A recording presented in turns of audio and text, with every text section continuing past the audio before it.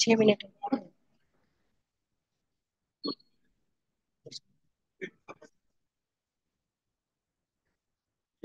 इसका आवाज़ इसका कट करती हूँ हाँ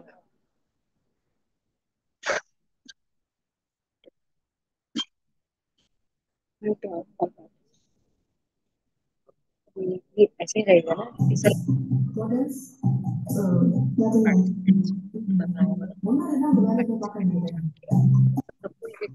इंडिविजुअली करना नहीं नहीं नहीं इंडिविजुअली नहीं सेटिंग में मोर में जाओ।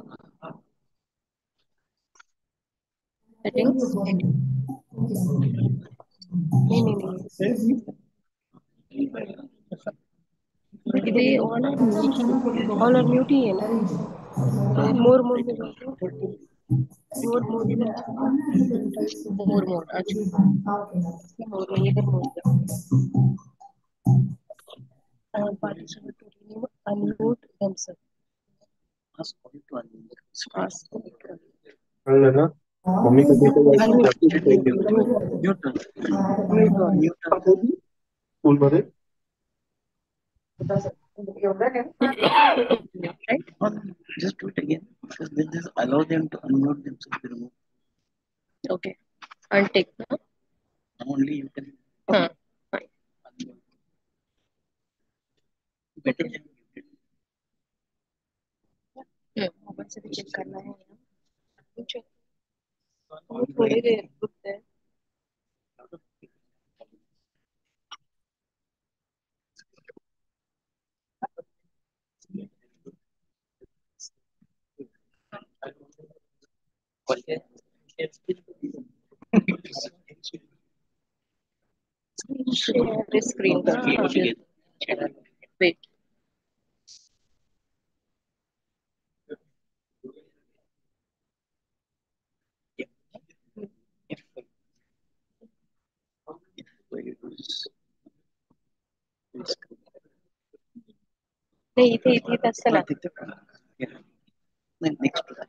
Right. this one.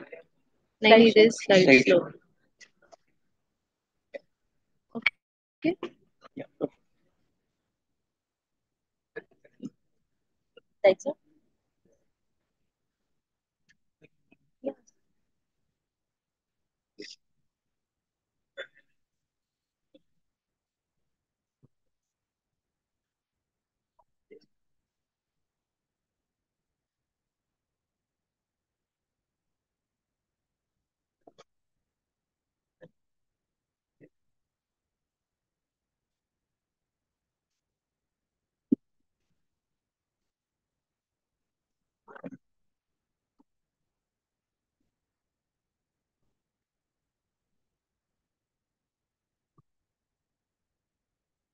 Let's try it.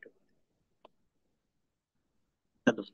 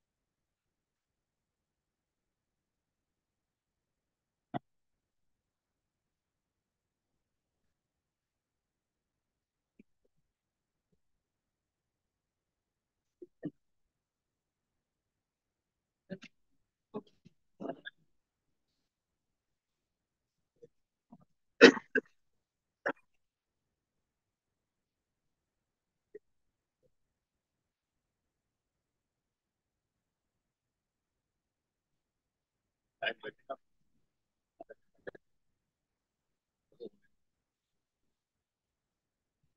बढ़िया थोड़ी देर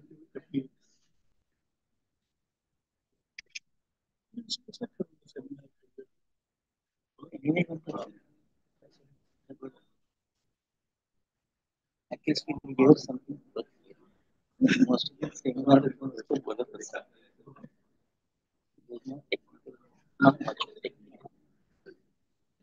First, we think we have a lecture, and we can live. Or.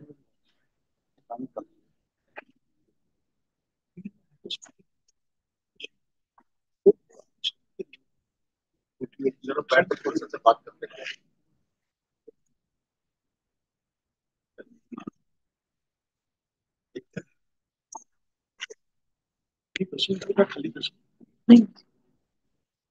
Good afternoon. Uh, I would like to welcome all the dignitaries on the stage and we can start the seminar.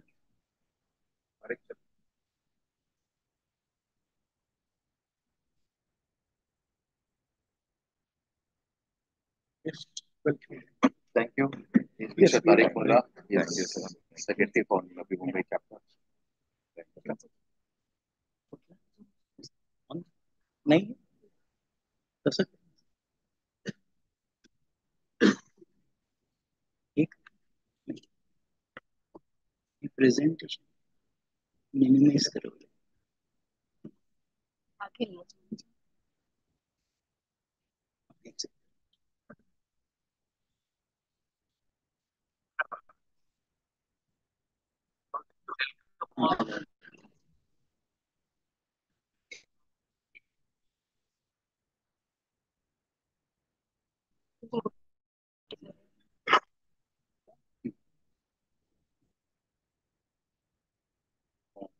अगर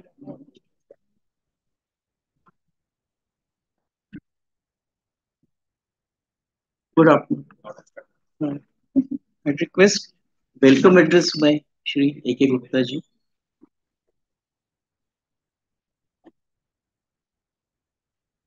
We were waiting for you, sir. All in the light of rain. Good afternoon, friends.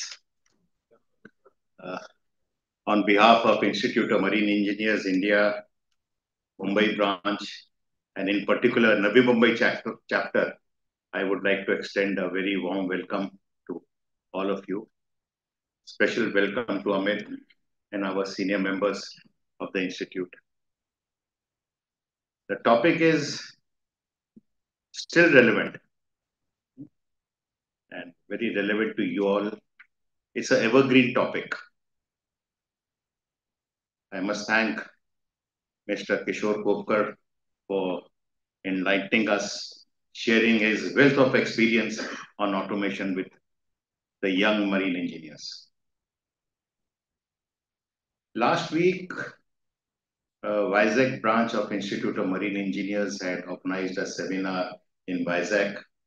We were there, Amit was also there. And the theme of the seminar was artificial intelligence and machine learning. So just keep that in back of your mind. I'll try to justify how, why it is so relevant and such an evergreen topic. When I joined the ship first time, 1976, huh, पुराने जमाने के jailer हैं, huh? There was no concept of control room. Forget it. No control room. We used to run up and down, monitoring temperatures, taking soundings, adjusting temperatures. huh? And near the engine console room, one table was there like this, where you used to write the logbook, and a stool was kept. That was that was all. Then slowly the control room came. But alas, the control room was out of bound for the junior engineer. Junior engineer could enter the control room only to take over watch and in the end to write the logbook. Throughout the watch, he has to be outside. Of course, the senior engineer had some system of pressing an alarm, two alarms, that means Panchu come. Anyway. Then came unmanned machinery spaces, UMS operation. We couldn't digest it. It was drilled into us that engine room cannot be left unmanned even in port. और now ये बोलते हैं कि शाम को ताला लगाओ और चले जाओ. So you see how the technology is evolving. And now we have unmanned ships, totally unmanned, remotely controlled. So please appreciate where the technology is going. And on top of that, artificial intelligence. किसी ने सुना है artificial intelligence क्या होता है? Very good very good so computers are programmed and जैसे हम लोग लॉजिक लगाते हैं रीजन करते हैं computer will be able to do it main engine not starting तो हम क्या करते थे? Whether the problem is in the control system, whether the problem is with the air system or the fuel system. We used to troubleshoot. But here, computer is a threat to you, artificial intelligence. He will reason out, he will do everything, and he will give you the solution. So this is where the world is going. I hope you will appreciate that this topic is very relevant. And we all young, especially you all, young marine engineers will be benefited from the knowledge of Mr. Kishore Khopkar. With these few words, I would like to conclude. Thank you and Jai Hind.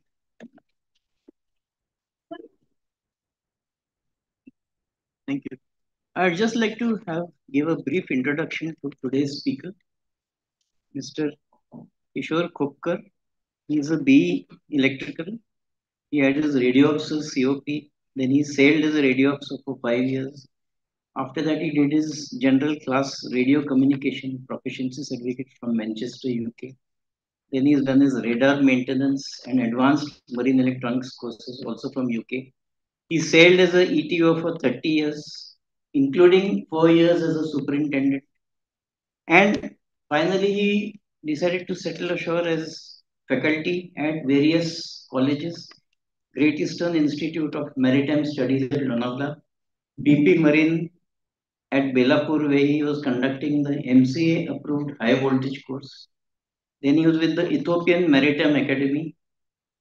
And right now he's at the Anglo-Eastern Maritime Academy at Karjat, where he is senior faculty. Experience as faculty is about 10 years. And right now actually he's starting a new venture. He's starting his own institute called Viking Maritime Training Institute in Belapur, and I think he will tell you himself about this. So with these words, I want to introduce Mr. Kishore Khopkar.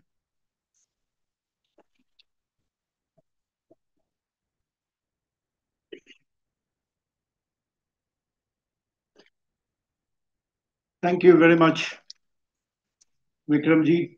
On your sir, we will go down. Yes, thank you. Sir.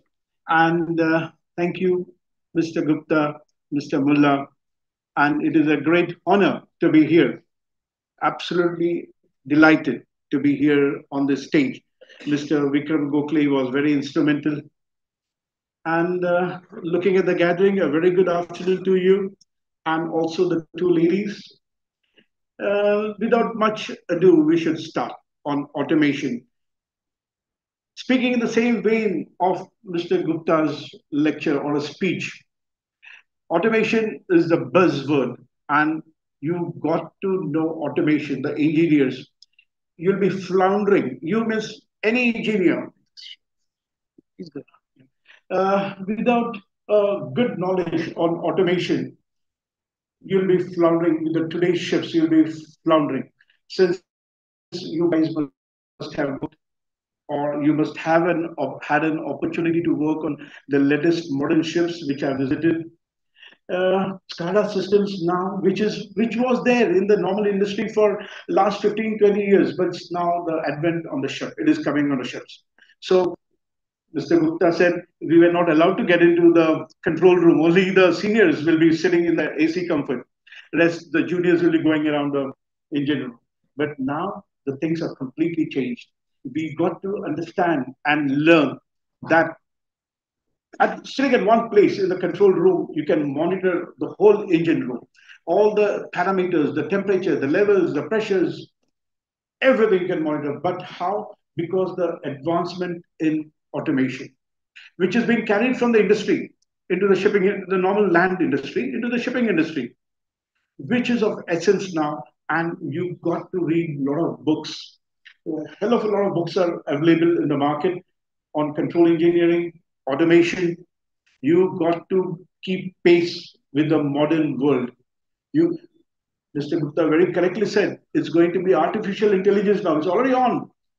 Machine learning is there.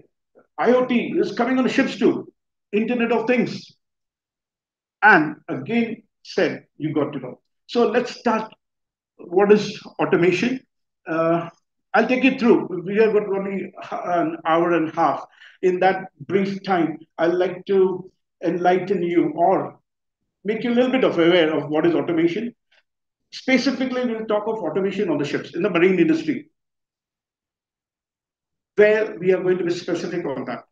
Uh, what is automation? It's all about having the machine do the work for you, do the maintain the process values as per your desired values, your set points.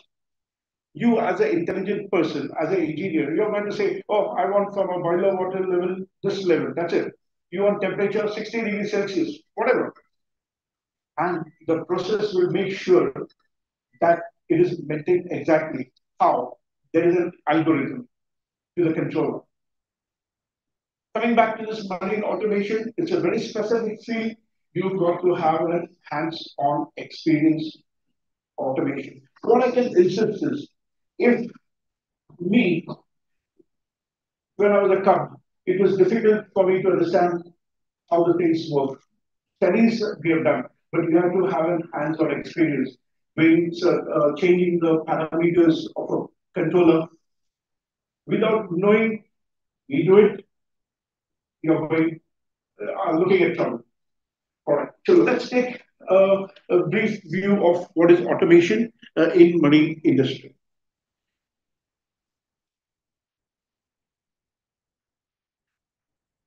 Yeah. Now the topics we are going to cover today is introduction to marine automation. Marine automation is what are we looking at? When you are, uh, say, for example, fuel oil, you have to maintain a CST, a viscosity of 13 CST, 30.5 CST. You got to maintain the temperature of the fuel, isn't it? Which is as per the records, you want say 125 degrees Celsius. The controller will do everything. And you just sit tight, monitor, sit down in your engine room and you monitor all your parameters. Simple as that. The second topic will be necessity of automation. Then it is basic fundamentals of automation. What are the basic for what we require in automation? Then comes your controllers, sensors, transmitters, final control elements, application of uh, automation on board ships, and recent developments in your AI, artificial intelligence. That's extremely important for us to understand because uh, for voyage planning, cargo operations, uh, crew changes, it's all going to be automation and artificial intelligence. So let's start now. Why we need, need marine automation? When uh, Mr. Gupta was talking, even I started my career in 77, 78, uh, there used to be 40 guys on the ship. But now it's written down to maybe 22, 23 or VLCCs 24. How? All because of thanks to automation. So you have to keep to safeguard our jobs. We got to make sure that we know automation in the back of your hands. Better machine efficiency, when we say better machine efficiency is we drive the machines in such a manner that it works at optimum efficiency. If it's going to be uh, manually operated, you might overdo a machine overspeed the machine or uh, uh, underachieve the efficiency of the machine, which is not done. Automation will make sure you get the best out of a machine. Savings in fuel consumption, of course, now, uh, because, say, for example, you're opening a valve, closing a valve to maintain a temperature, steam valve, that is, for the steam uh, coming in, uh, you might overdo, you might underdo, not achieve the right results. It will take long time for a human to come to that result less carbon footprint. Of course, you're enjoying uh, you're employing uh, the automation, so the fuel will be used in as optimum efficiency. Less maintenance, also carbon footprint is down. Uh, less maintenance of machinery. uh, you are not overcooking the machinery. You are using it like at optimum efficiency. So maintenance down time is also down, not required all the time. We can do a condition-based maintenance or a planned maintenance. It all depends. Reduce fatigue for maintenance personnel. Again, coming back to Mr. Gupta's speech that we should go around the whole day in the engine room. No more. No more, isn't it? Uh, Dr. Fatiga, you have all the details. And through IoT, the office will also know what's happening, container temperatures, engine, uh, main engine parameters, auxiliary engine parameters. I'll give you an example. Uh, this is coming from your uh, MSc. They have done an experience about six experiment about six. Sorry. About uh, five, six years back. And uh, the experiment was what? Automation. What they did was they, selected two ships from the fleet, brand new ships, sister ships, doing the same voyage. One ship was run with uh, the motors on star delta or auto transformers. And the second ship, the sister ship, was done on VFDs, pure VFDs. And at the end of the year, they found out the consumption on the ship, which was being run by the VFDs, was less by a million dollar, about approximately a million dollars of fuel consumption was down. So they save a million dollar per ship and you multiply by say 500 ships. That is where we are going to score on automation. So reduce fatigue for maintenance personnel.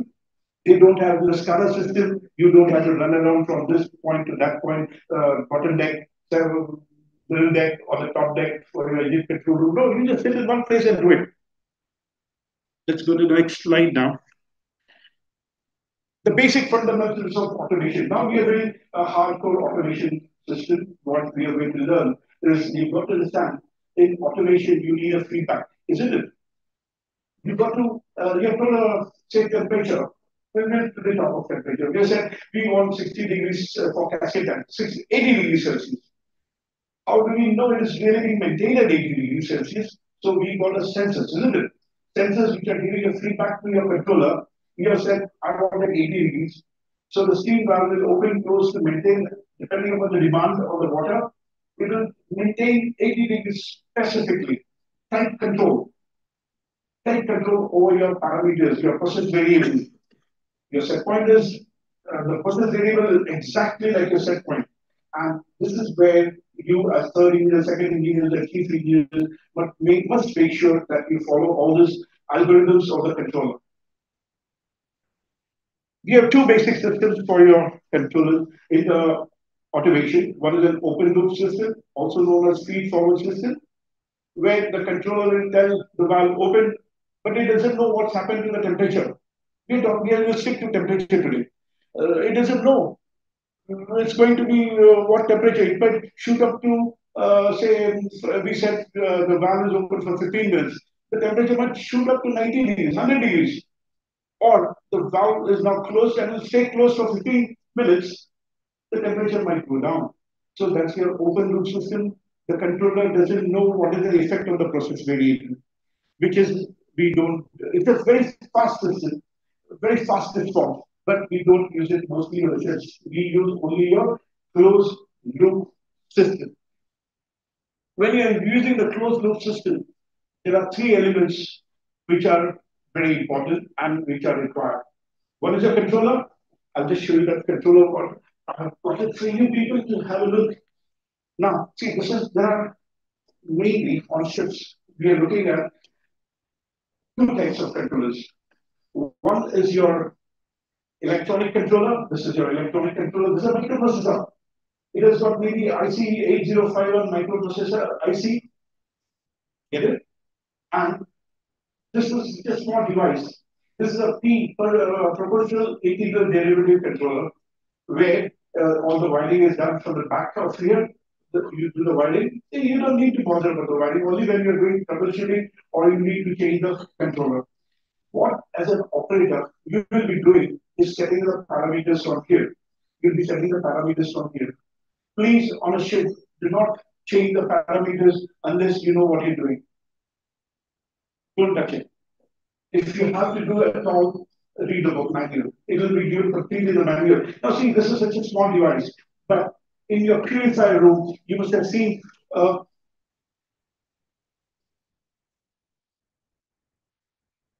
this is, have you seen this before?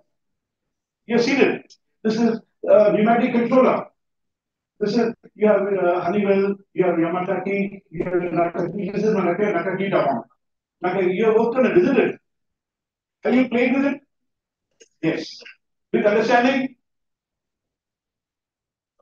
Sure. You know, this is a flapping systems. And uh, here, see, have you uh, worked should be held like this. Have you worked on it before and opened this anytime? Correct, achieving the right results? Good. So, this is where your controller has to be, and this are the equipment you got to know. You got to learn. It's a starter nozzle system. This is a pure pneumatic system. Um, it gets an input of 30 psi. You know the conversation between the psi's, the bars. Uh, this is this one works input 20 psi, output 3 to 15 psi. 14.7 psi is one bar, isn't it? So uh, you have to know the conversion 100 kPa, one bar, isn't it? So you got to know this conversation very well. In automation, there are two signals. One is your pneumatic signal, the other one is your electrical signal. And the electrical signal is 4 to 20 milliamps. This one works on 4 to 20 milliamps. This one works on 3 to 15 psi. And you as second engineers must take care, as third engineers must take care that your pneumatic signal, the air, quality of air should be clean, cool, and dry. If your quality of your air is not good, you are going to have problem with this. There'll be, have you had an experience of uh, water going inside here? Through the filter also it goes, and then big, picture. All right. So uh, coming back, one is your controller. The controller gets an input from your sensor, isn't it? I just brought one sensor for you here. Have you worked on this before? Yes, of course. This is the RTPD100.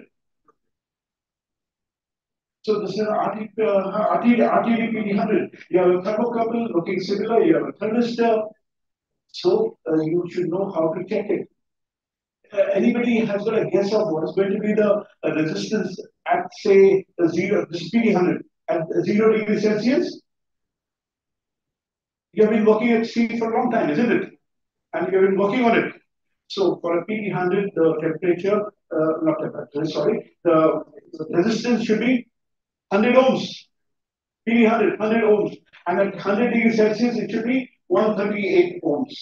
So you should know how to measure it, how to use a temperature calibrator.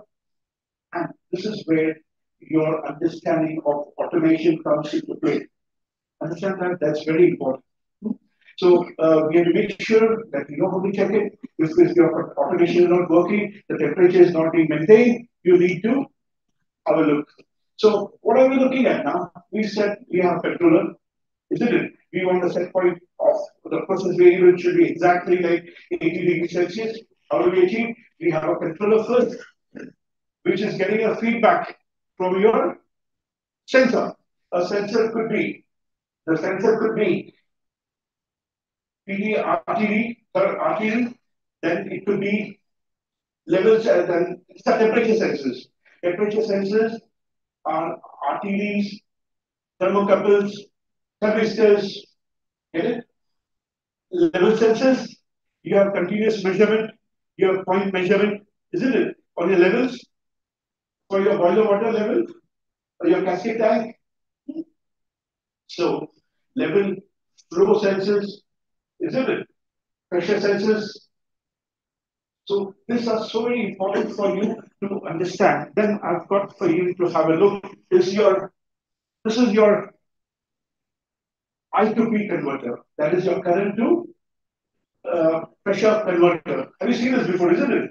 You have seen it. And this is a very important device which converts a pneumatic signal into your electrical signal. And the electrical signal is 4 to 20 milliamps, which goes into your controller. This is important. This is a so this is known as a closed loop system. So we have a set point which we are telling the controller, I need 80 degrees Celsius. It is getting a feedback from your sensor. Sensor tells the process variable is now 85 degrees Celsius. So the controller will tell the final control element. What is the final control element? Actuator. You must have worked on single acting actuators, pneumatic actuators. You see the actuators, isn't it? Let me show you on the screen. Uh, this is the basic. See, you see that uh, actuator there? And you see that there's a control valve. See, this is a pneumatic single acting uh, linear actuator with a positioner down there, here, down, and the control. This is a, your ball valve.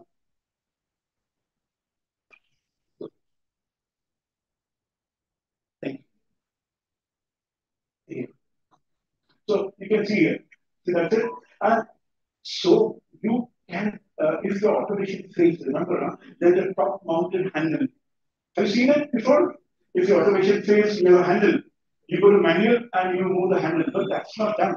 That's not automation. That's in case you can't troubleshoot. You have a problem, and then you're going to go on working on the top mounted handle.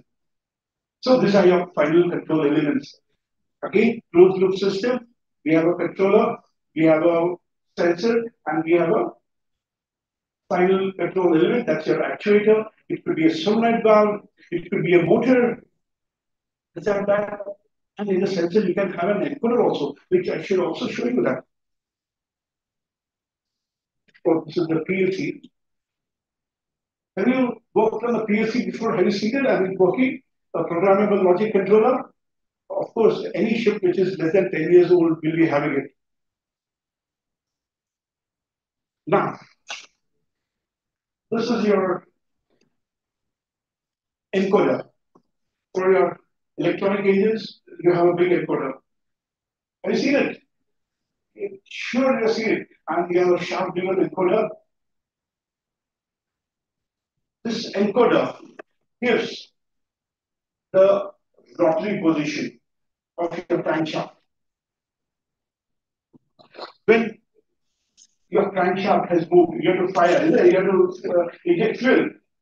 You need fuel. But how? Before you used to have a governor, a mechanical governor. No, we're all gone. All gone. You've got to keep pace. Huh? So you have an encoder here with a shaft, with a shaft here. You move, the shaft is coupled uh, to your crankshaft. This shaft of this encoder is coupled to your crankshaft or your uh, main engine.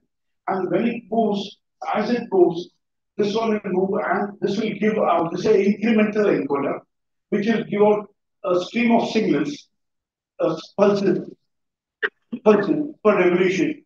And this will tell your controller which piston is where. Uh, it? There's an algorithm which is fed into the computer. So the injection will happen by, by the position given back by the encoder. This is a very small size encoder. You have this big size encoder on the ships. Have you have anybody had a problem with the encoder before? This is a, a bit of a gray area where uh, people get nervous of not to touch the encoder. Now, going forward,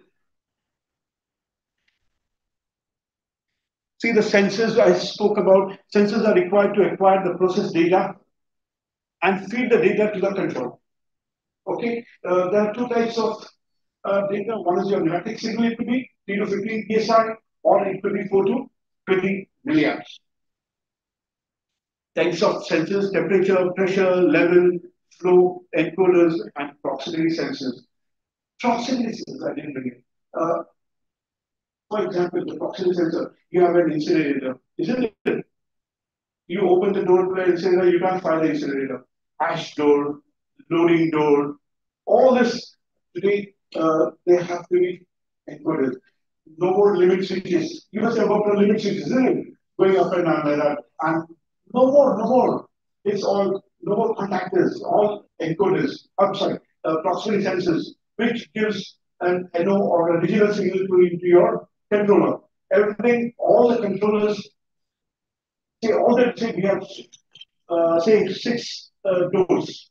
you have a vacuum switch on your incinerator, you have this, that. If all the conditions are met, then this PLC, this is a very miniature PLC.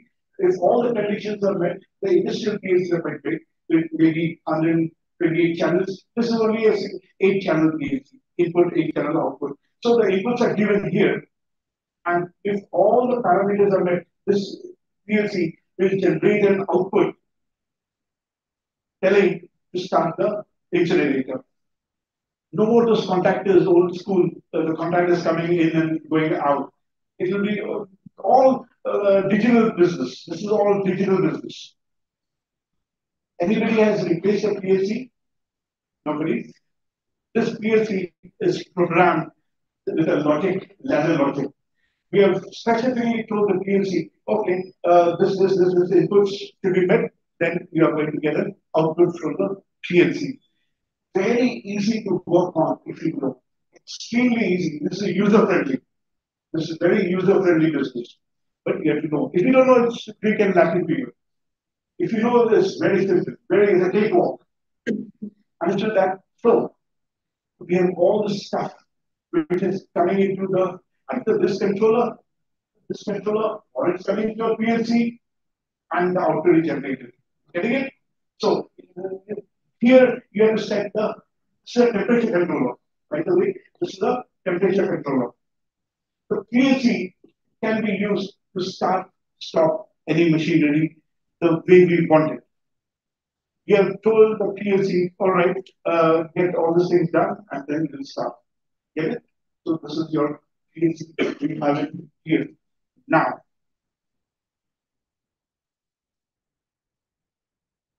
this is your final control element. You must have had problems with this final control element, isn't it? Your actuator. Where is my pointed one? Here we are. See this is that. Do you know what is this here? This is your position. Today, uh, I've been working on last 10, 15 years. This, this is a smart position. Uh, have you heard of the smart position? The smart position, today in today's digital world, digitized world, you have this smart position. No more moving parts.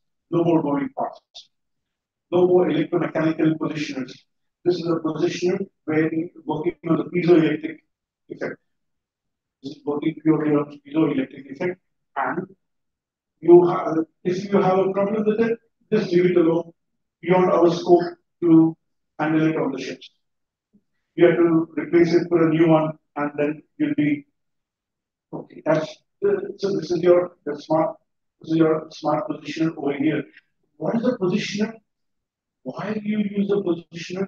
Because we want the valve, this valve here, uh, this valve here, to open exactly to the desired position as called for by the controller. You get it? So this is very important. You have to know what is the position. This is this is a hardcore automation, and without this knowledge, difficult.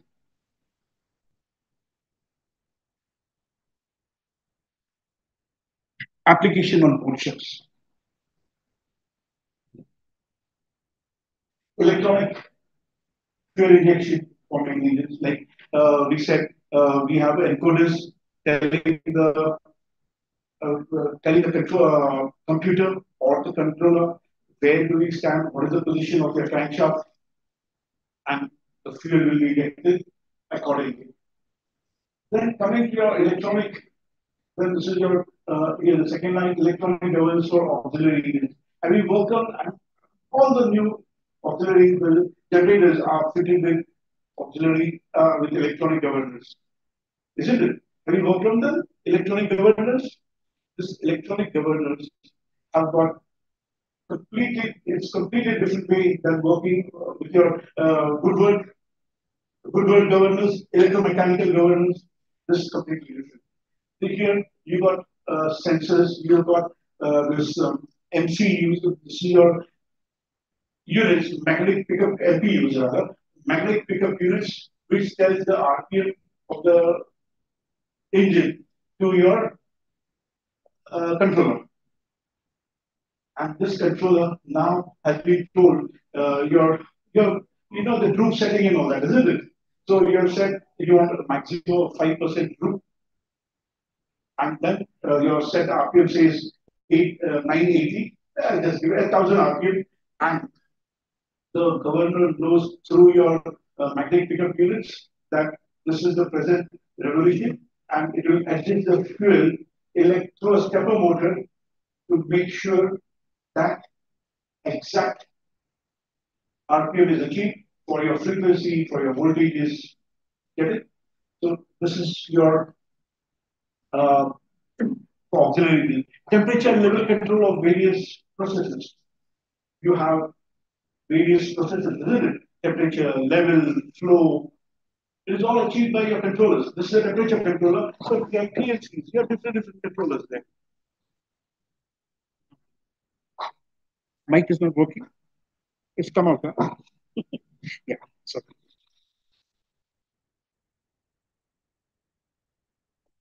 Thank you. Right.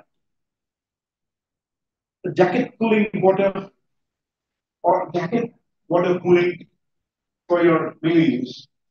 It's working on your gain automation. This is this is a, difficult topic to be uh, understood. You can't get it straight away in this one and a half hours lecture. But jacket cooling water, and this is done by again your PID controller. There are two controllers in cascade, master and slave, and very fine effect, very fine control over your temperature for your jacket cooling water. You have two controllers doing the same thing. Once you get to know this automation business, it will be very easy for you to work there. Without having a having a brief knowledge is really not done. You've to have very intimate knowledge about your automation there. No, then your boiler feed water level control using three element control. Boiler feed water, you must have had problems. If you have problems, you are really worried, isn't it? As a third engineer, you're in charge of the boiler, you're worried now what I'm going to do. Your water level is not being maintained. Your pump is bad. Your motor, your feed pump is gone bad. Your motor, but the level is not there. You are getting all the alarms all the time. So you've got again controller, sensor, temperature or level sensor, and the final control element. This one. Viscotherm, you guys uh, have been working on uh, the capillary type viscotherms, isn't it? The capillary viscotherms, but now, last seven years, we got the electronic viscotherm, which is much more accurate, much, much more accurate with a electronic sensor, which is giving, giving a feedback to your controller that this is the viscosity, this is the temperature, and the control is telling the final control element to open, close your steel valve to maintain the viscosity. Again, an important aspect there. Then the boiler air fuel ratio. You want less smoke, isn't it? Your clean, um, your burnt air coming out through. Again, you have a automation business with a ratio controller. With a ratio controller, again, you have this. You've got to make sure that you know how to how to um, set up the controller. This is an art. Setting up a controller is an art. You just can't go lagia lagia, you know, talia talia. No, it's a it's a basic uh, knowledge is required when you're doing a controller setup. The thorough knowledge is required.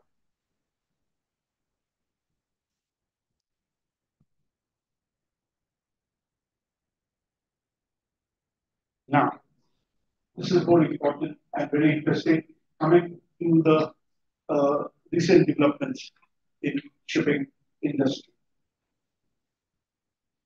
Use of, now I said we are like you going on prime new ships, or rather which have made this about two years back. You are having this SCADA system.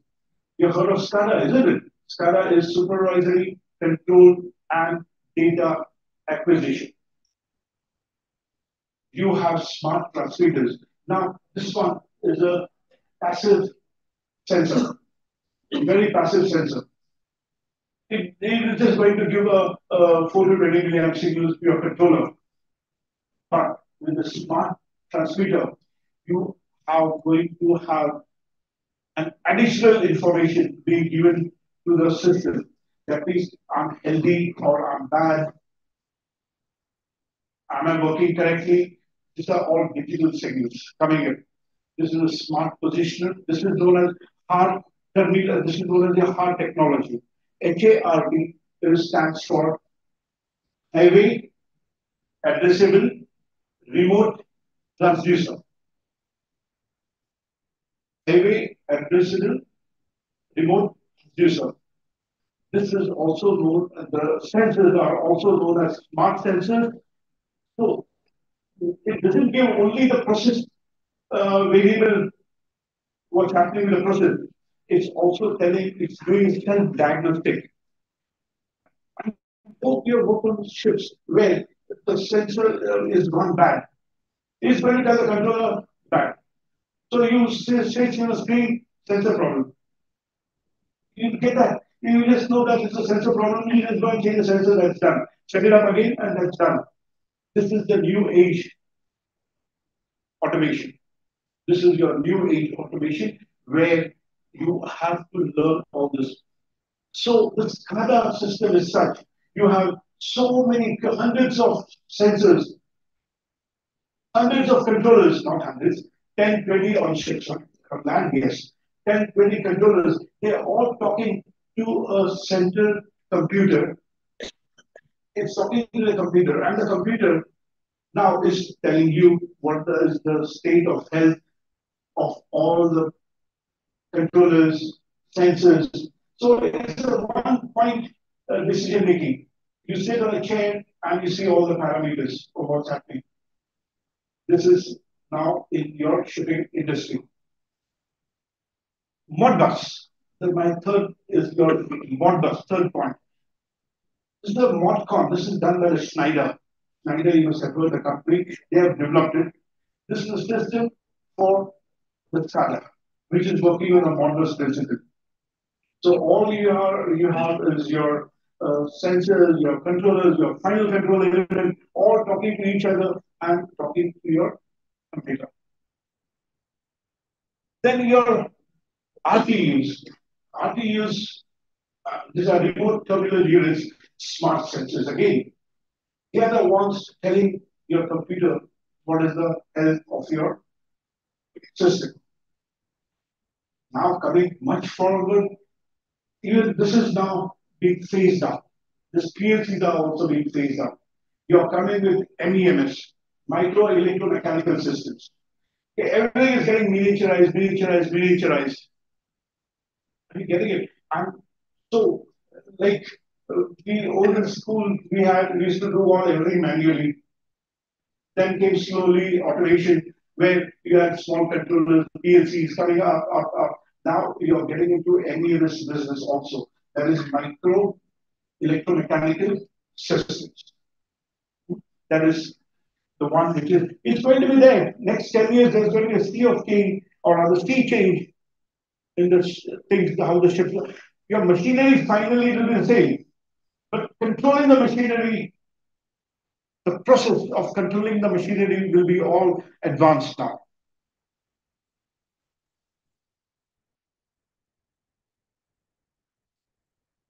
Now, this is your artificial intelligence in ships. That is the new age again.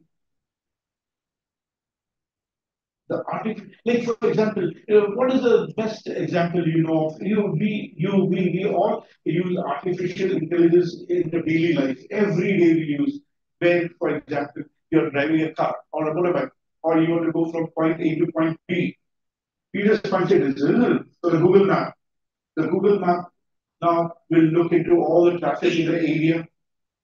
Take a decision. It knows there are 10 roads going into that point, and it will see the traffic from all the roads and tell you take this route. That is the best route.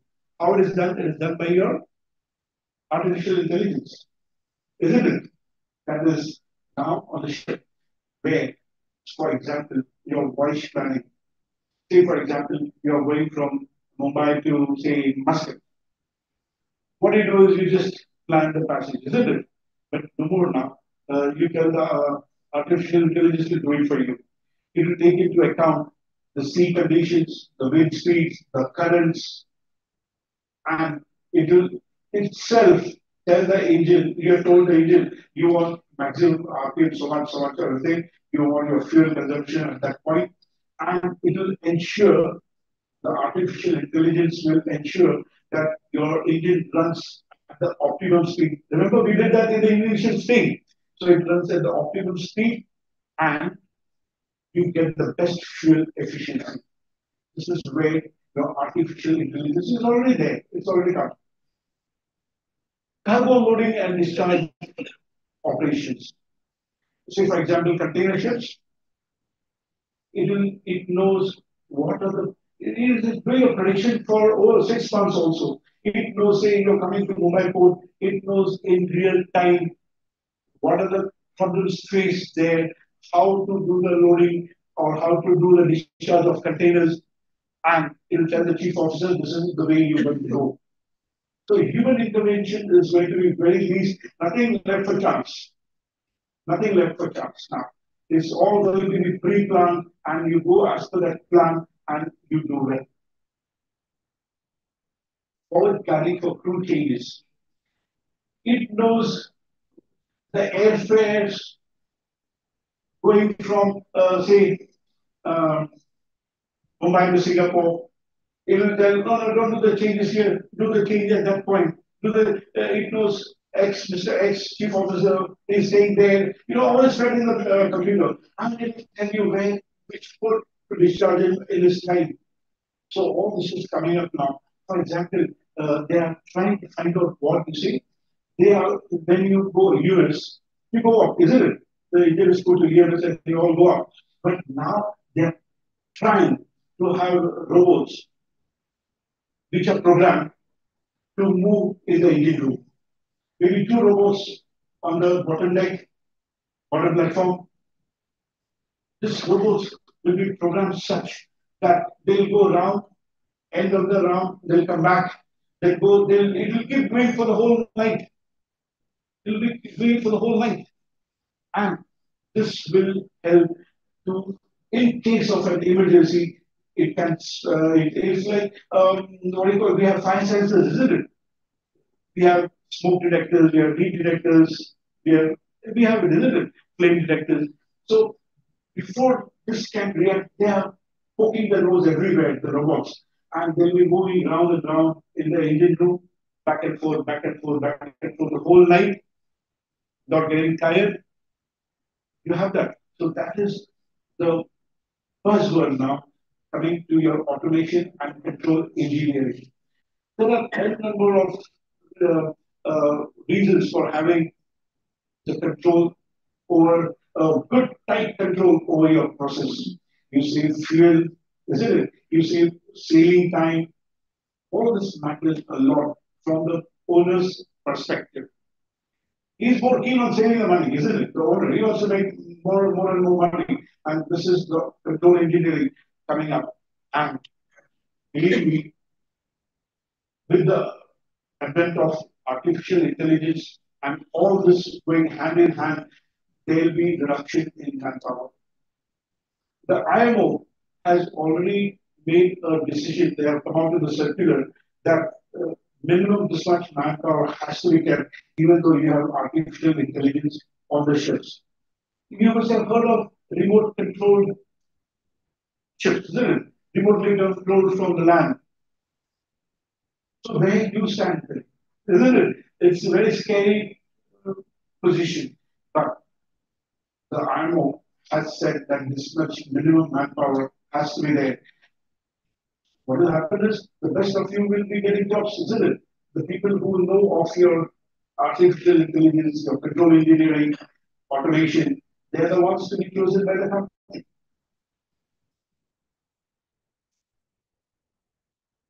Now, coming, we are uh, now another half an hour. I'd like to take questions from you. The very important is we like to have an interaction. This this one way traffic we did. So how can we now? Uh, please come up with questions. You see, and uh, anybody with the questions now? Any questions? You've got to ask questions. So you like we can be more uh, elaborate. Nobody's. If somebody wants to start learning about it now, Thank you. So if somebody wants to start learning about it now, how should one go about it? Uh, yes, uh, start learning what? Automation, Control engineering. control English. Now, uh, see, we have uh, today's uh, the thrust uh, for the second, second and class one combined is on control also. But you have to attend. Now, I'm not coming my uh, history because starting now, coming May. Uh, you have to do these courses. You have to do this courses. You have to spend some money. Maybe your company sponsors you to any institute. There are uh, one or two in UK also. They will sponsor you or you do it on your own. That is the best way. Because uh, now, for example, for example, what we had asked is a PID controller.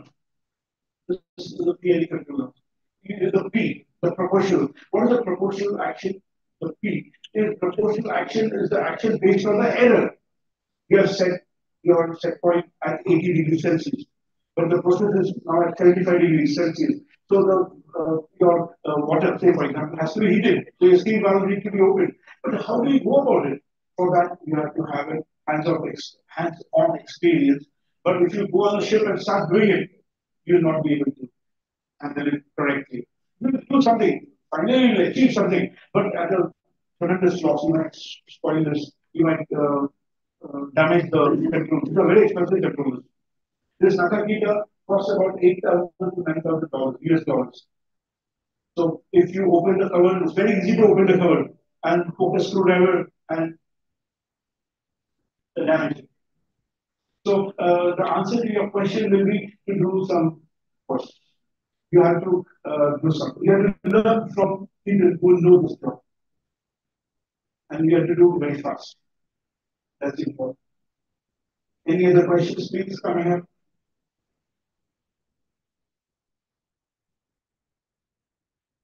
can you elaborate a little bit more on MEMS? Yes. The micro electromechanical system.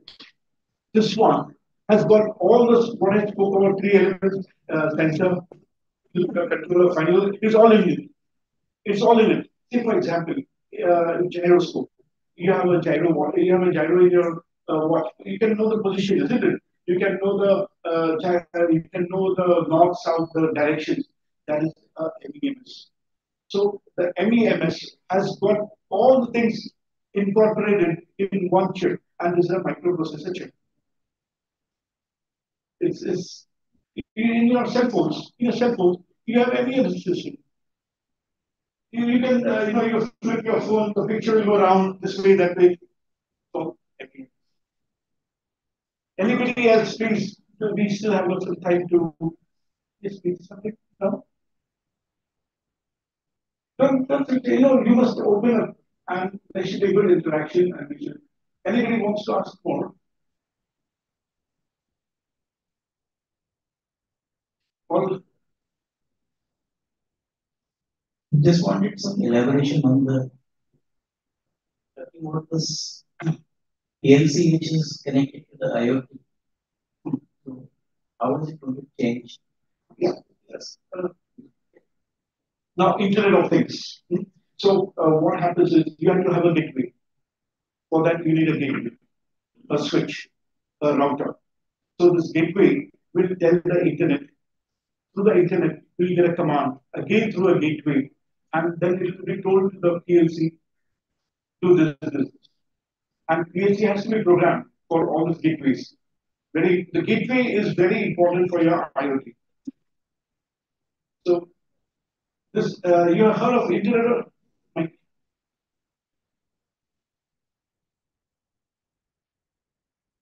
So far, the problem is going to get that signal from the ship to the cloud. Okay, now today, if you're uh, getting from the ship to the cloud, you have satellites. You have uh, dedicated satellites for internet. You have dedicated satellites. So this, are a, this is a solution.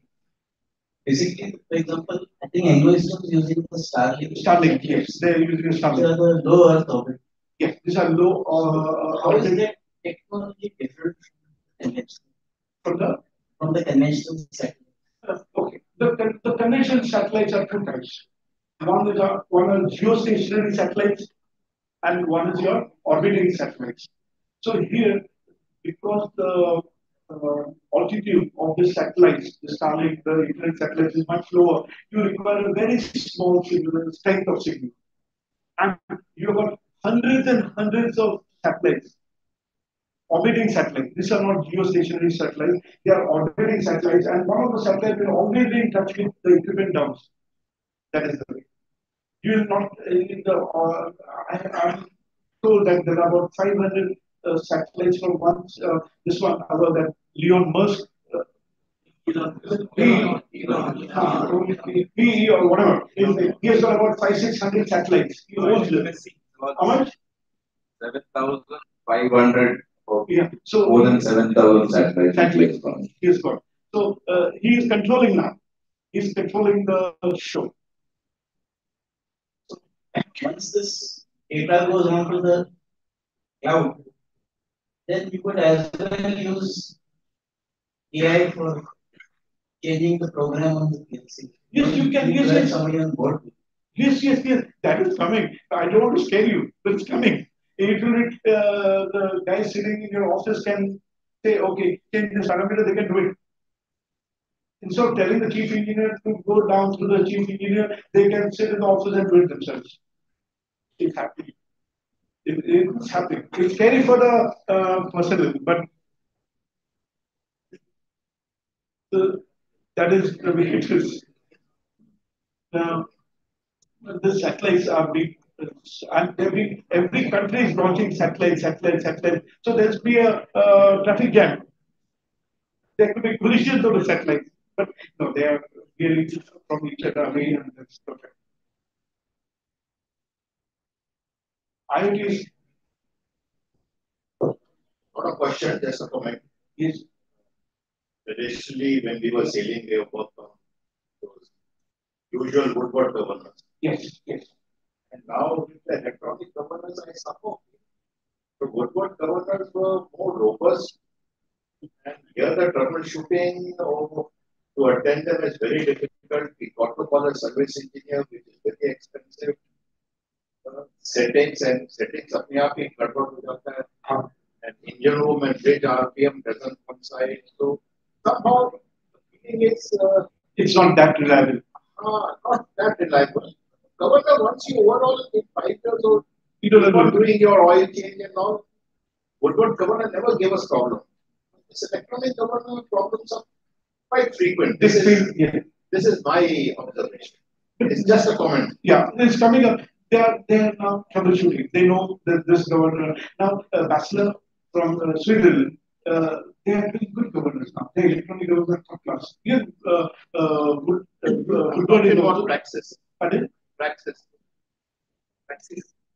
Governor, electronic governor. Uh-huh. Maker. Yeah, what is the maker name? Praxis. Uh, ba- Bachelor. No. Praxis is also one Yeah. of them. Praxis. Okay. Uh, Praxis, they have a complete set of automation also for the ship. Okay, includes the runner like that. Not just governor, they have worked on the Bachelor, then Woodward, and then uh, Taiyo. They also work Taiyo, Japanese one. And uh, their Taiyo, their governors also good. The whole problem is the PID, uh, electronic governor is, is a PID controller. It's a PID controller. And the third thing is, uh, just a few days back, I was doing a, a, a clearance certificate for EDO.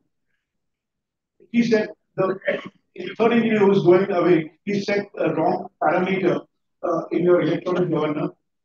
For all the three, they're different, and they used to have frequent blackouts. So what he's saying is correct. Gupta is very correct because if you uh, don't set the P and the I in all the governors equal, correct, it's not going to happen. You're going to end up having problems. But the best part of your electronic governor is the smoke suppression. You know the smoke suppression? The smoke suppression is a function of an electronic governor where the fuel is ejected. You have, you're having a inertia, isn't it? The engine should start. So the full fuel will not be injected. The fuel will be injected only for the engine, for the spinning, the, uh, the, the IC engine starts firing, the speed picks up, and then more and more fuel will be added. So the end result is smoke suppression. And there's another factor to it. When you're idling your generator, you need not run the generator at full speed. You can set the parameters in your controller, okay, run it at half the speed.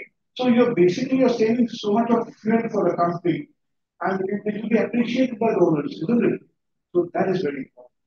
These are the two main factors of your electronic governance. Yes, yeah, here's the question, please. Sir, uh, sir, I recently got to work on the smart positioner you just mentioned about. So this system was incorporated in the IG system. Now the problem with the system is all the system, all the components are uh, dependent on each other. So for example, we have got like five balls in IG system, out of which one of the smart positioner is not working. Then the whole system goes for a toss. Perfect. And that's why the problem comes in for the owners and the shipbuilders, that they have to invest in a lot of money for one smart positioner to keep the whole automation running. And then we are like, what should we do now? Because these smart positions are very, very tricky. You can't work on it. It's gone and you have to replace it. Now, until this spare parts arrive, you have to run the whole system on manual. Like you have to start working and start operating all the. You basically have to remove the automation and start working by hand because you're not getting feedback from that one particular position. Perfect. So, what's your take on that? Like, uh, because again, the reliability is now of the system because we are working into automation, and now once automation gives up, then we have to go back to manual system. Just one part of the automation, not the entire system. Then we manually have to pull out all the walls, make it manual and start working. So what's your take on it? Uh, you, this was for your IG system? Correct, sir. Uh, so now, for example, uh, you, are, um, you have an uptake valve from the boiler, the coming, the flue coming in uh, to your scrubbers and this and that. Then uh, the, uh, pressure, uh, IG, uh, uh, oxygen content less than 5%, all the valves uh, manipulating, isn't it? Uh, to, uh, to atmosphere, going to the tanks. So you have modulation. This modulation has failed in your case. That's what I think. And why this failed? Because the controllers are working fine. So all are working fine except one, the one which is uh, the one which used to go to deck. That has to control the flow in the entire system once the oxygen content is reached. Now this system is not giving feedback to the entire system. Once the system is working, okay, it's saying now I've got the oxygen content, let's open the Now they're trying to open the wall, the wall is not opening. But the system is saying open the wall, it is not opening, there's too much of back pressure, the system trips. Now what we need to do that we need to go back, remove all the wall, and now start operating. Uh, operating manually. Yeah. So, so again, just because of one wall, one wall which is not working at the end. Absolutely. Now, this is a, a catch and situation. When you do this, this one goes back. This one you do this, that one goes back. So what the gentleman had said, you have to know how to crack this problem. You have to know. Uh, the basic idea will be if you identify that in the positioner which is bad, you have identified that. If they have identified that the positioner is not working, we ask for a replacement. Now again, the turnaround time is very high, three months, because we are not doing prevent ports.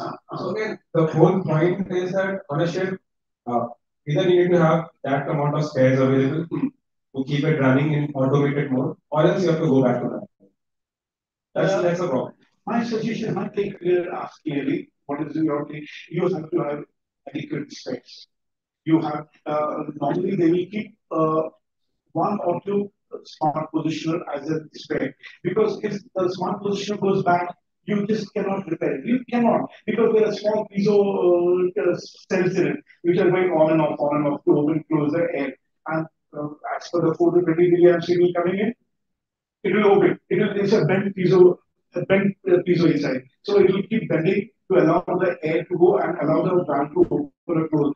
You're, then you're sitting down. You cannot do nothing.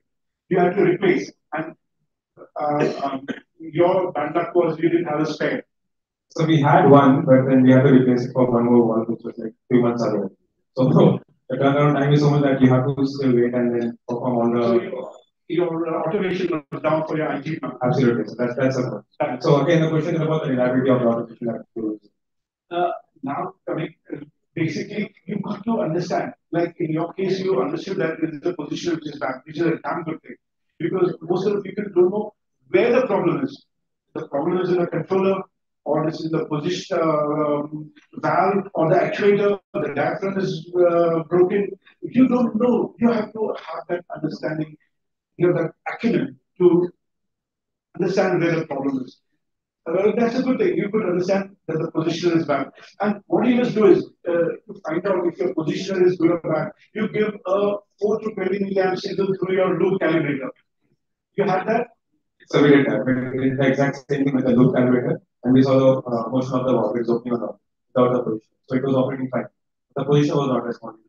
So that was the problem. So we figured out that the problem with the positioner, but we did not have a spare, position. So what we did, we removed one of the position from the other unit and put it here because this was more critical one for the tank. And we exchanged with the one which was in the engine which we could manually control.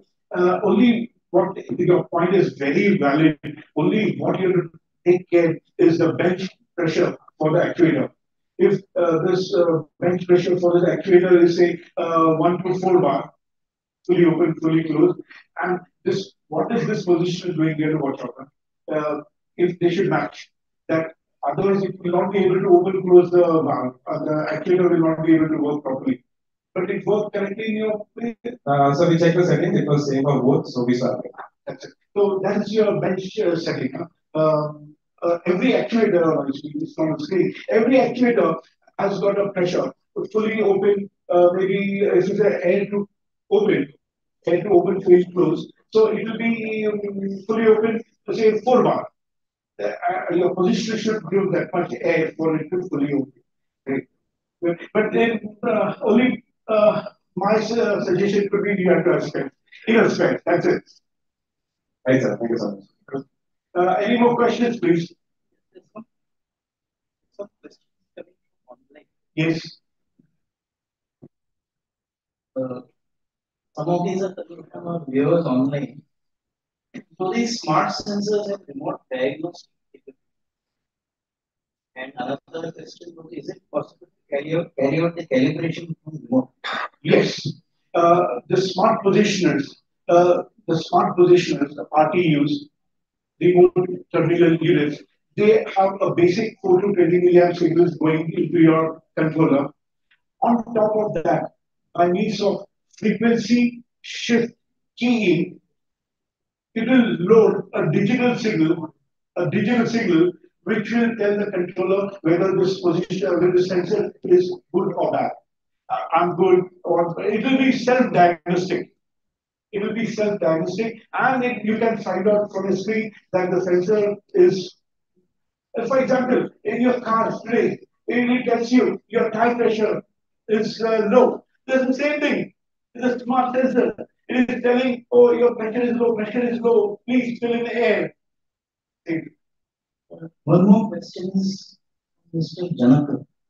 Uh, what is the purpose of the quadrature sensor in the angle encoder? Yes. Quadrature sensor has got basically two outputs. A and B, A and B, and one more third uh, uh, is your Z, C. See, the quadrature sensor, if this quadrature, two outputs which are in quadrature, that is, they are out by 90 degrees. If A output is leading the B output by 90 degrees, that means the uh, encoder is moving clockwise. If it is if the B output, the output, why showing that? It's here. Here, this is that quadrature encoder. Incremental encoder is known as quadrature encoder also. So the, there are outputs here, three outputs coming here, A, B, and Z. A and B are your uh, telling whether this encoder is moving in uh, the shaft is moving in clockwise or anti-clockwise direction, and then the Z phase coming out. So every revolution it gives a pulse. That means one revolution complete. Thank you. Uh, another question is what is this connected ship concept? Connected ship. Like we have connected cars or we have Oh, he's talking, oh, he's talking that, yeah. Ah, so again, coming back to your cloud and IoTs, coming back to that. So uh, all the information is being fed onto the cloud and is accessed by your company, and the company can do changes in your parameters of your machinery, which is again maybe dangerous or it's fruitful. So not only that, I would say I that this uh, connected ship gives data to the maker and they Oh, he's talking about that. so they can give the feedback so this parameter please check with this uh, these parameters are not right or some diagnostic is required. Yes, this is uh, what we have, this is uh, Anglo-Eastern, where uh, Starlink, you know, the makers, they keep getting, they are monitoring. Say, for example, uh, one person in a company has got 100 ships, he's monitoring 100 ships. He is monitoring 100 ships, and then he knows every ship, the parameter is going haywire. Yeah. What is that to say? The maker, I mean, uh, the running engine, the parameters, if, if the ship is connected, the data is being trans transmitted to the makers for analysis. They will revert some things uh, which we don't know. They are within the range, but not the alarm range. There is a deviation. Uh, so they may say a pre-warning like, uh, okay, this is going to be wrong, please take this. That is talking about that. Now, but the trouble is, still it's not very prevalent. It's very few, it's not very, very prevalent. It is coming up. It's going to be there full blown after maybe 10 years. No, on uh, ship, uh, I said uh, we used to get a monthly feedback reports of uh, analysis of this data going out and and Which machinery? mainly. Mainly, okay, mainly. Okay, so they used to okay this month uh, ICU performance uh, okay for some running hours or some on some date uh, it was not right. Okay, so what went on? Then there, there used to be questions from the company why you did check. Okay, this is a good way to because behind uh, on uh, this PC uh, PLC what is happening we don't know. And, you're so occupied with other jobs also, you're paying least attention. And when there is no alarm, that means you don't bother. It's within the parameters. But they're checking. Yes. Uh, Wärtsilä is doing that. Uh, Wärtsilä is doing that. And they're monitoring. Yeah, very correct. They're doing it. Yes, Yeah, uh, one another question is from somebody else. He says, what is a machine automation controller? Uh, that's different words. Machine automation controller. Yeah.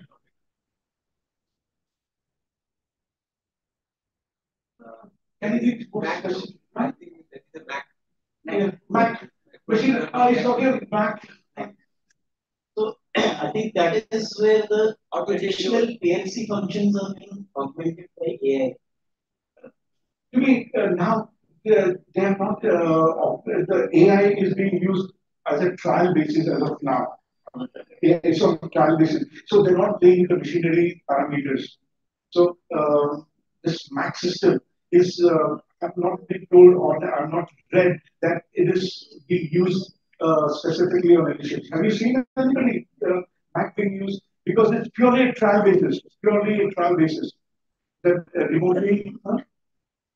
Uh, saying something? Uh, any other questions coming up? on the- that?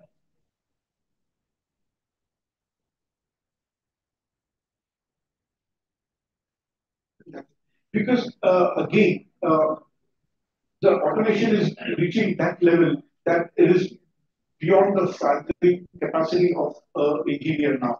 This Mac, the engine room, uh, the companies checking the parameters, connected ships. It is happening.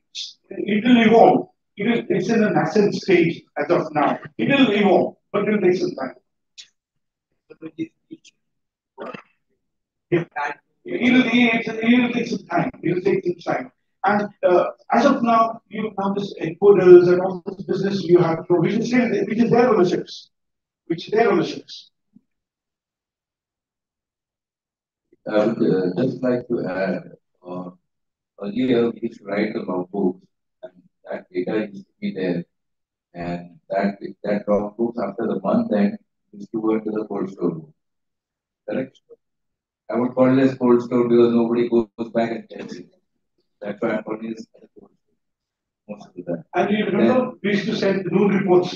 Yeah, and then slowly we started gathering that data, gathering that data.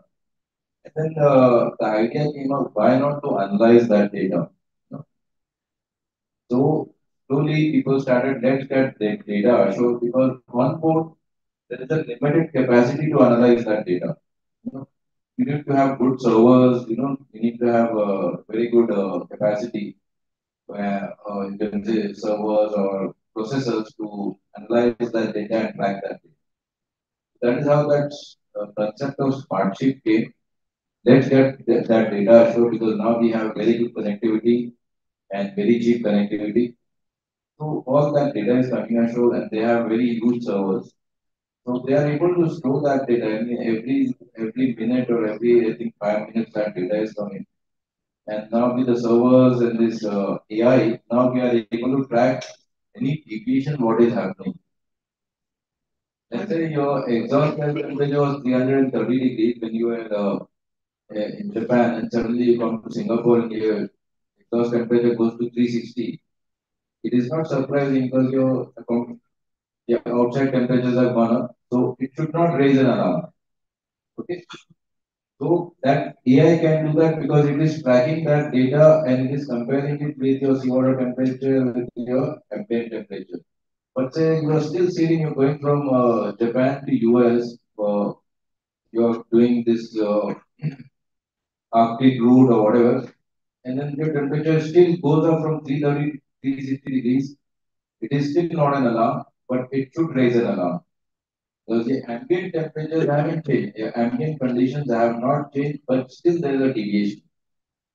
Getting my point? So with this AI and with this big data analysis, now, now we are able to track that deviation, that no, none, none of the ambient conditions have changed, but the result parameter has changed.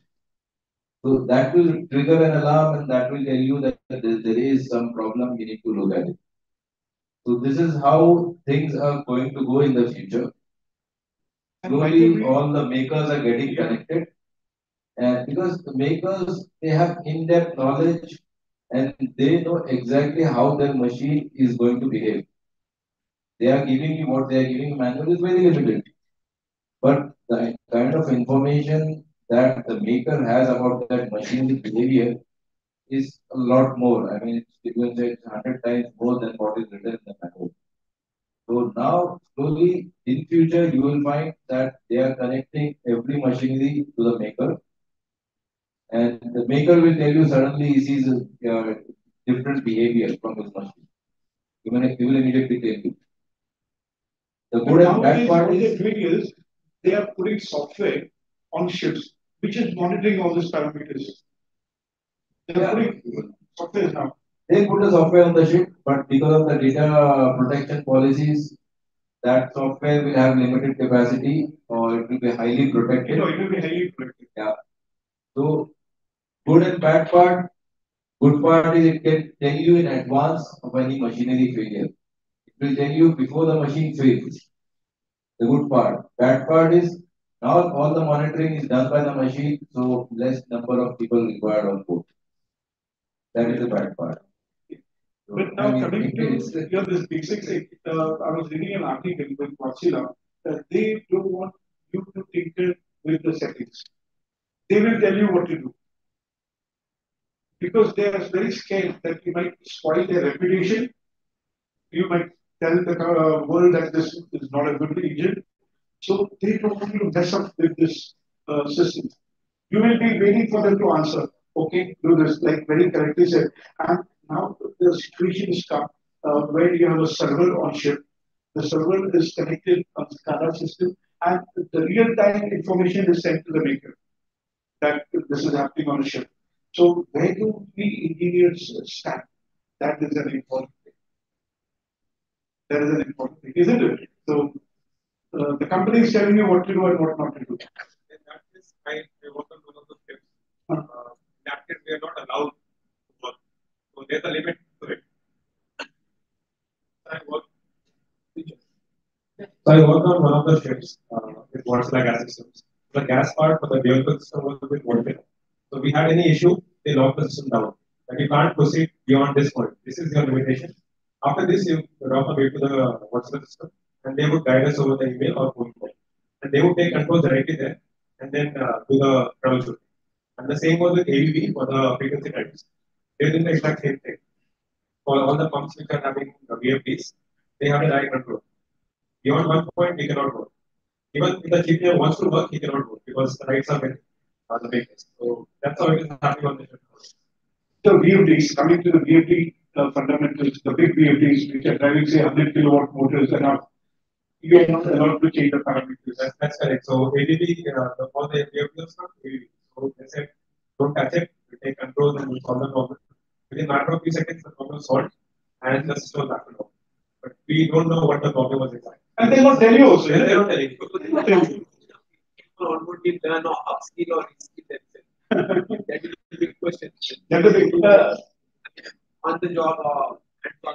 So, you know, the basic way to understand this, say VFD, let's say to VFD. The VFD has been so designed, it's a user-friendly VFD. You have to only adjust what speed uh, ranges, the frequencies. Say, for example, you say you're 60 hertz, you say, okay, my lowest frequency is 5 hertz, most frequency 60 hertz.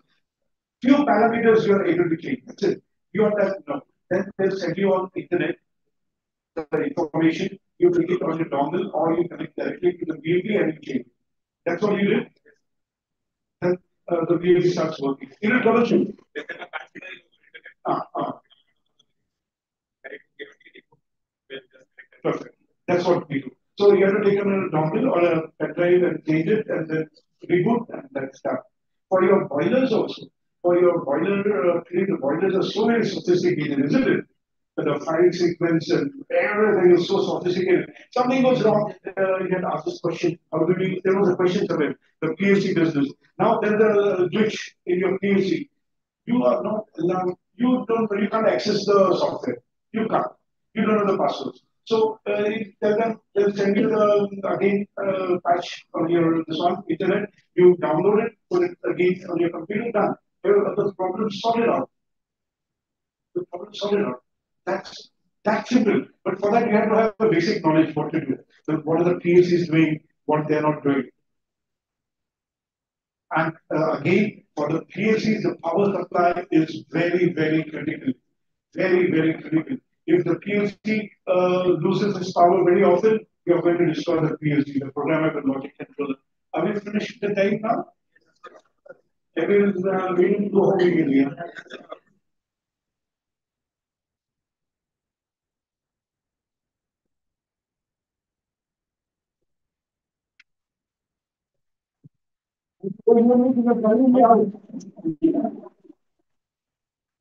Thank you. Thank you so very much. Uh, I would like to call on Mr. Gupta ji or Mr. Tariq to hand over the memento to the speaker.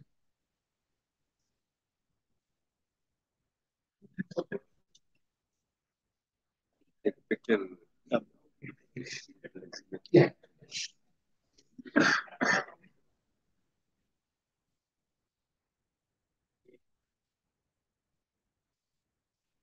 Okay, well, you.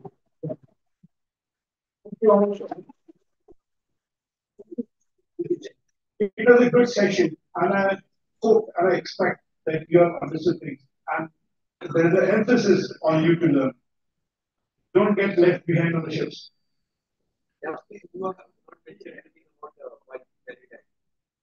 I'm going to uh, okay. Very short. Very short, yeah. Uh, I'll leave this.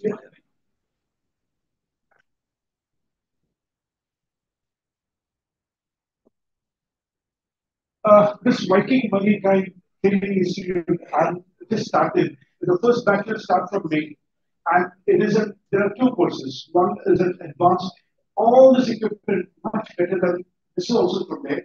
Uh, we have actuators. You'll be tuning the actuators. You'll be tuning the position, the smart positioner. We have a problem. We have a smart positioner. I'll show you what to do in case there's a problem. Then uh, we are going to learn about the PLC programming. We are going to do a little bit about your computer networking. You guys, you ship, you don't know what is the star topology, RJ45. Uh, Today, the only thing that connected, isn't it? You have to know how to use a crimping tool, how to check those basic things. Uh, we'll be having we'll be having all temperature sensors, pressure sensors, I to P, P to I converters, whole lot. So it is in Belapur, CBD Belapur, very near the BP Murray hospital facility there, and you're all welcome. You're all welcome. So you've been started enrolling for the next month. Thank you. Thank you. I'd like to uh, call Tariq to give us the vote of thanks.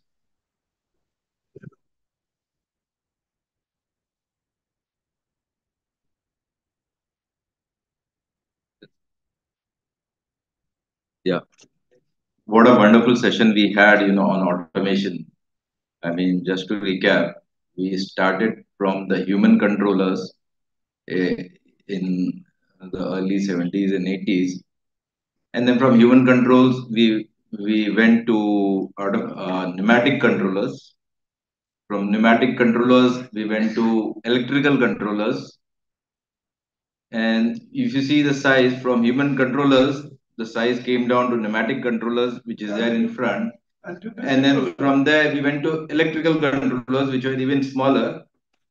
And then from electrical controllers, we went to electronic controllers, which are solid state, basically solid state controllers, which are very miniature in sizes. So we, have seen that graduation, which was very wonderful. And then we, it, it was demonstrated on also in front of us. And uh, one thing I would like to add is from the, if you see the uh, uh, this pneumatic and electrical controllers, they always had limited parameters to play around with. Limited parameters that we could set in like P, I, D. But with the solid state controllers, uh, with the electronic controllers, there are so many parameters. If you just go into the digital screen, there will be about 50 parameters that we can set in. So the kind of playing that we can do with that controller is immense. And that is where the world is going. I mean, there are so many checks and balances, so many within a small controller, there are so many logic gates and so many parameters that we can play around and control the system. It's immense. I mean, the capacity is huge. And that is where the world is going.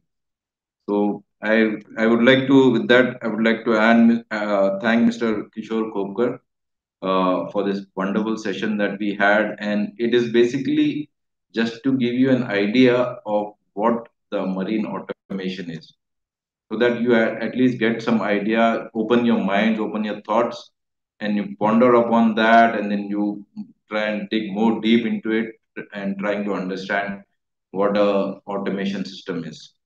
So we, I would I would like request all of you to give a good word of thanks to Mr. Uh, for this wonderful presentation. And with that, I would also like to thank uh, uh, our MC and uh, also uh, our esteemed sir uh, Gupta sir. He is, I mean, his presence always uh, encourages us to do many things. You know, he's been a guiding light for us in uh, Institute of Marine Engineers, a very active member, and uh, and he's he's just his presence really encourages us to do many. Uh, uh, to give uh, to lo- do a lot of activities in Institute of Marine Engineers, which can benefit all the all you young engineers who are coming up in the in your career. So we are always open. We are always open to suggestions. You can always reach out to us. And uh, I would, rec- uh, I would, rec- I'm really happy that he's here. And then uh, we thank him for his presence. To Gokhale sir for his uh, for uh, taking this floor uh, and uh, taking this uh, presentation. And uh, I, I, at the same time, I, I want to thank all of you members, all of you guys who are present here for this seminar all the guys who are present online for this seminar. I would like to thank all of them for taking your time out and then you know, attending and trying to grasp what is coming forward. because I'm sure at least you you must be having some key take takeaway points from this that how the automation system where it is going forward and how uh, it it is going to affect our life on board. And with that, again, I would like to thank uh, the Institute of Marine Engineers for this facility, uh, you know, providing us this facility for uh, this seminar. Uh, thanks one, once again. And uh, we have a high tea which has been arranged outside. I would like to request all of you to join us for the high tea. Thank you once again. With that, I would like to conclude this seminar.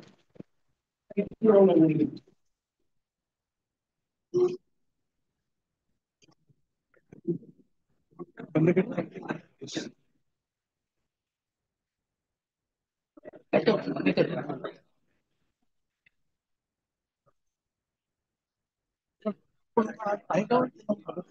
uh,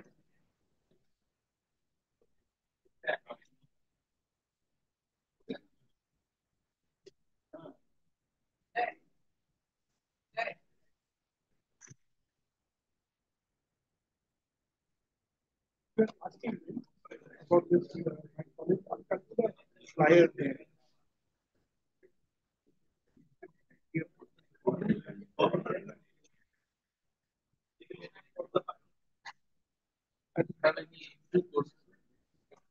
Yeah, two courses. One is a five-day course, one is a three-day course.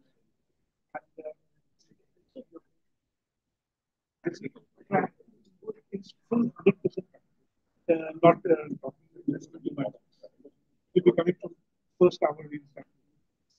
I'm going to a flyer on the, but I, uh, can you do me a favor then? Uh, sir, um, this our candidates like to uh, know about uh, we just put a. Yeah, we'll talk to uh, director when he comes on Monday. And probably we'll put it on the notice board, but we'll confirm. Because maybe you can give, give them your phone number. Contact with you. I just stay nearby. I can drop in Drop. any time and check over there. That is not uh, you know. Ah, his phone number here. Oh, oh, it's a full of I'll just Nine nine two zero six three I'll uh, give you a picture and then you can take photographs and circulate. Yeah, that will be easy. That will be very easy. Easy, correct.